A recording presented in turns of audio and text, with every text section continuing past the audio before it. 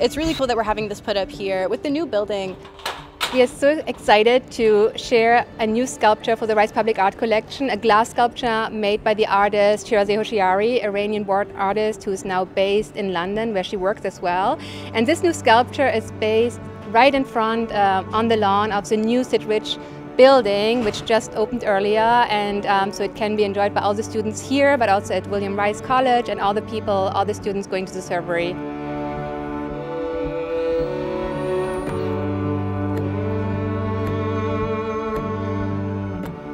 I definitely love seeing all of the public art on campus. I think it's super important, uh, especially because Rice is considered such a STEM-based school.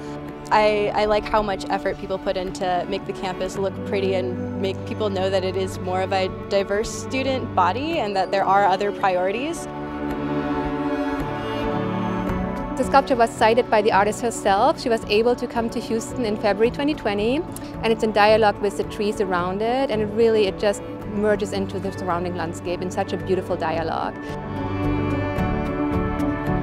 It's a 10 feet tall sculpture entirely made of glass, uh, Murano glass that was custom made for the artist in Italy. Depending on what time of day it is, it looks different each time. And during the night it will also be lit, so it's going to be an amazing experience for everyone, seeing the sculpture in the morning, in the afternoon, and really interacting with the Rice campus as well.